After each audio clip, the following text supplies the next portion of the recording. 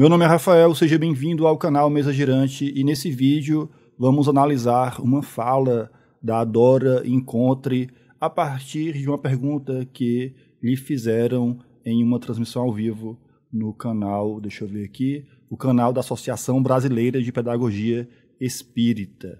Deixa eu aprontar aqui o vídeo, vamos lá, para ver o que foi que ela disse.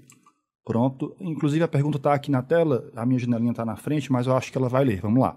Ruins têm proliferado, inclusive entre médiums célebres ainda vivos. Por que não se estabelece um critério universal para essas comunicações? O que está faltando? Existe o critério, está aí no livro dos médiuns. O que Tá, a pergunta foi no sentido de comentários que ela vinha fazendo em relação à qualidade das mensagens. Ah, o título do vídeo aqui é, é Como Identificar os Espíritos, né?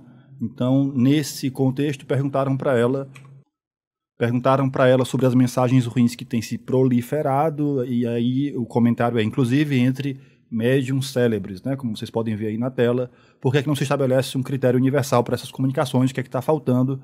E aí ela faz um comentário, universal vejamos. para essas comunicações, o que está faltando? Existe o critério, está aí no livro dos médiuns. O que falta é análise, o que falta é honestidade, o que falta são instituições editoras honestas que façam essa análise, porque existem os médiums estrelas que nunca passam por análise.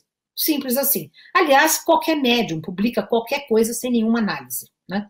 Então, é, esse é um problema que, que é próprio do movimento espírita brasileiro.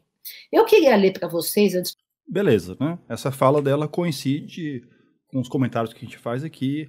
Aliás, isso é uma coisa óbvia para qualquer pessoa que estude a obra de Allan Kardec. Ao estudar a obra de Allan Kardec, você olha para o que é feito aqui no Brasil e com muita clareza você vê uma brutal diferença na forma como as coisas são feitas, exatamente pela falta de aplicação das orientações de Allan Kardec. Beleza. Mas lá na frente, Uh, de repente, até com base nesse comentário que ela fez em cima dessa pergunta, e de repente em cima de outras coisas, vocês observaram que, que num dado momento ela fala sobre os médiums célebres, né? E aí ela diz: não só esses, todos os médiums publicam todos sem critério, sem controle. Pois bem, lá na frente fazem uma pergunta, na verdade eu acho que é um comentário, deixa eu colocar aqui, porque é nessa segunda parte que tem um aspecto que me chama a atenção. Deixa eu organizar aqui. Pronto, achei aqui o ponto, é um pouco mais à frente, já perto do final, é, comentam algo em cima desses comentários que ela fez, né? Como eu disse, vocês observaram, ela fala sobre esses médiums célebres. E em cima disso, pedem para que ela dê os nomes. Olha só. Terminar. Eu tenho aqui uma pergunta que eu não vou responder, porque toda vez me perguntam para nomear médiums. Eu faço críticas aqui gerais, tá? Mas eu não nomeio um médium ou outro, tá? que eu prefiro não nomear, prefiro fazer críticas gerais, é, dar, assim, comentar diretrizes que se aplicam a todos os médiums, conhecidos ou não, né? É, e assim, todo mundo sabe as minhas posições, mas eu prefiro na live não pegar nomes específicos deste ou daquele médium. É, a não ser que eu possa dizer alguma coisa de boa do médium, como é o caso do Chico né, do Chico Xavier. Eu faço algumas críticas ao Chico, mas como eu passo, também digo algumas coisas positivas, então eu nomeio o Chico Xavier. Outros que eu não posso dizer nada que me agrade ou com, com o que eu concorde, então eu prefiro não nomear. Deixo, deixo claro isso, tá bom?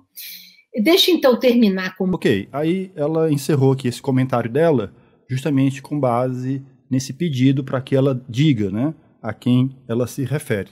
Vejamos, tem um ponto que eu julgo importante aqui é, nesse segundo comentário que ela faz. Eu quero me valer aqui desse contexto no qual nós vimos. Ela fala sobre a necessidade da aplicação dos critérios, de um maior rigor na análise dessas comunicações, a fim de que essas obras é, sejam publicadas dentro de certos parâmetros, coisas que não ocorrem. Né? A gente sabe que há um descontrole geral no que diz respeito às comunicações dos espíritos, tudo que vem é publicado e fica por isso mesmo.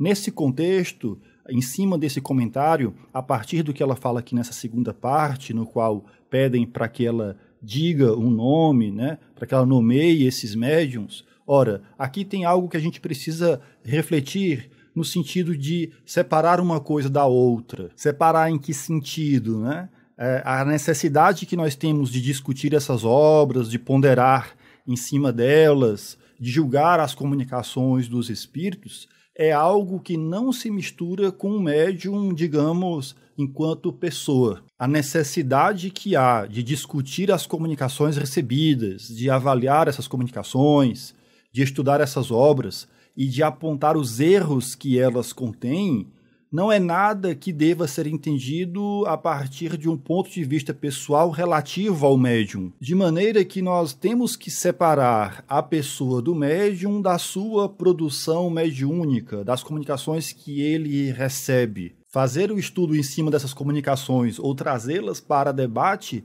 não é nada que tenha a ver com a pessoa do médium em si, de maneira que comentar essas obras, apontar possíveis equívocos, não é nada que deva ser confundido com críticas dirigidas à pessoa do médium. Uma coisa não se confunde com a outra. Então, quando ela diz assim, ah, eu não vou dar nomes porque eu não tenho nada de bom para falar, como no caso do Chico, no caso dele eu falo coisas boas, portanto, eu faço críticas também, como se a gente tivesse que compensar as críticas relativas. E esse é que é o problema, né? A crítica não é dirigida ao médium.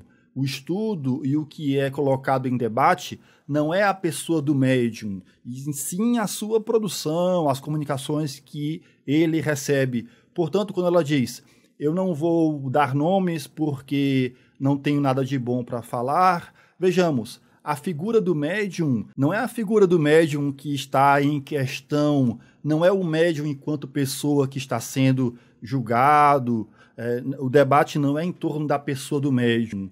O que é julgado e que deve ser julgado com rigor é as comunicações que ele recebe. Então, quando ela coloca, ah, mas eu não tenho nada de bom para falar, então não quero trazer os nomes, é, esse tipo de postura, e aqui a gente respeita a postura dela, claro, é, eu não quero nem entrar no mérito das razões pessoais que ela tem para não dar os nomes. Eu só quero me valer dessa oportunidade para deixar claro que é, esse julgamento, esse estudo, a observação de aspectos negativos relativos às publicações dos médiums, não é algo que se confunde com a sua pessoa, com o indivíduo pessoalmente, digamos assim, a pessoa física médium, né? Aqui, para me valer de uma expressão que é muito comum, né? O indivíduo enquanto pessoa física. Não, não é isso. A gente está é, trazendo para debate a sua produção, as comunicações que ele recebe, de maneira que quando ela fala, né, ah, não, não tenho coisas boas.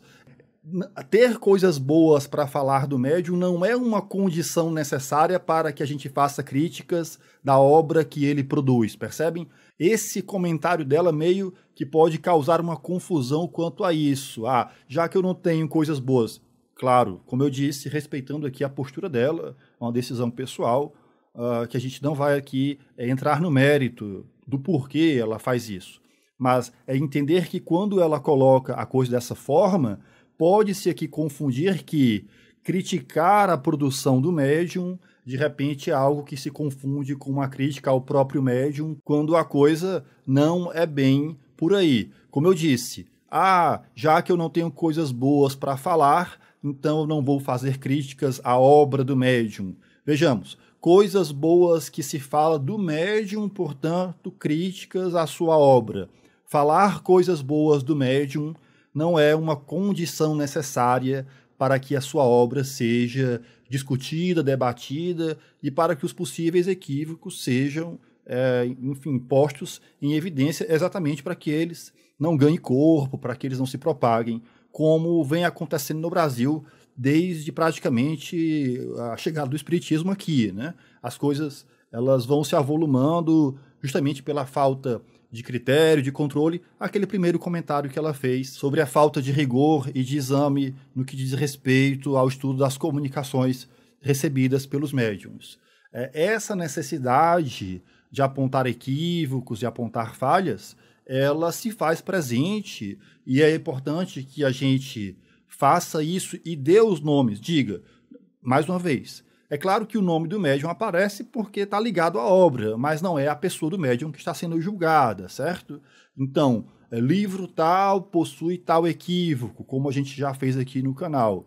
Quanto mais pessoas vêm à tona e apontam esses equívocos, convenhamos, a margem para que esses equívocos é, ganhem corpo ou se propaguem assim livremente é, é bem menor. Claro que é preciso que esse entendimento se generalize, a compreensão da obra de Allan Kardec ela se fortaleça, mas são pequenos passos nesse sentido, claro, levando em conta a orientação de Allan Kardec. Para aqueles que valorizam a orientação de Allan Kardec, é, isso se faz necessário, a necessidade de julgar as comunicações, de trazer essas obras para debate, de fazer o necessário controle em cima daquilo que os espíritos dizem. E esse controle não tem nada a ver com a pessoa do médium, de maneira que, ah, como eu não tenho coisas boas, como ela comentou, isso me incomodou muito porque pode causar uma confusão nesse sentido. Ah, eu só vou criticar a obra de quem eu posso falar bem. Não é bem por aí. Uh, não, é, não há nada relativo à pessoa, digamos assim, que seja uma condição necessária para que a gente julgue a produção mediúnica dela. Beleza? Era esse o comentário em cima dessa fala da Dora Encontre. Deixa aqui o seu like, né? Deixa aí o seu curtir. Escreva aqui o que é que você acha a respeito disso e se inscreva no canal se você não for inscrito. É isso. Até uma próxima. Valeu!